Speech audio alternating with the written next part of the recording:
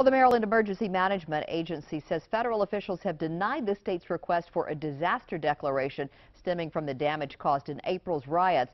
Last month, the state requested the declaration, which would make public agencies and residents eligible for federal reimbursement on repairs. But the state applied under the Stafford Act, which only covers natural disaster damage. Initial denials can be appealed. So far, no word from the state on whether an appeal will be filed. And the Maryland Lottery is working to prevent winning tickets stolen during the April riots from being turned in for profit. Lottery officials say they've been able to automatically block more than 19,300 tickets from being cashed. Of those tickets, suspects did try to cash in nearly 1,800 stolen tickets in person. The highest value ticket that was blocked was worth 10 grand. But we are getting a better idea of how Governor Hogan intends to divvy up state money for riot expenses. 11 News I-Team reporter David Collins joins us live from City Hall with the details. David.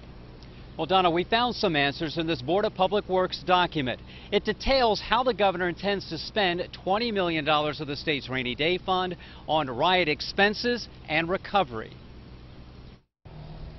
The cost of containment using state and outside resources is estimated to be more than $13 million. Deployment of the Maryland Army National Guard from April 27th through May 6th cost taxpayers more than $3.5 million. The bill includes overtime. The bill for staffing the Maryland Emergency Operations Center around the clock to coordinate all the resources needed comes to $9,392. D.C. Police presented costs of $176,533. D.C. Fire Department submitted a bill for $66,120. The state of Ohio sent an incident management team at a cost of $150,000. Virginia sent $6,500 worth of non-lethal weapons kits. Support from Pennsylvania will cost taxpayers $767,071. This includes law enforcement, plus incident management team support and A-Team. The state of New Jersey tallied its help providing law enforcement to $1.3 million.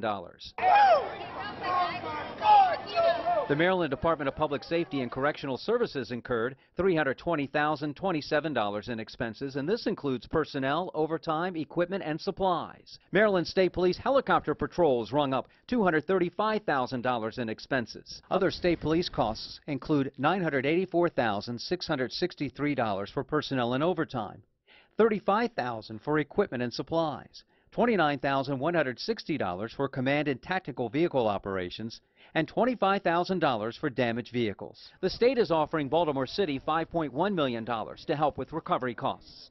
Monies include million dollars for the Baltimore City Summer Youth Works program, 1.5 million in business recovery loans, a half million in business facade grants, 150,000 for business facade design and implementation, and $2 million in down payment grants for new homeowners.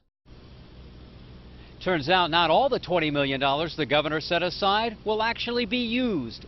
$7 million, or nearly $7 million, will be put back into the state's rainy day fund. The Board of Public Works will vote on this proposal next Tuesday. Reporting live from City Hall, David Collins, WBAL TV 11 News.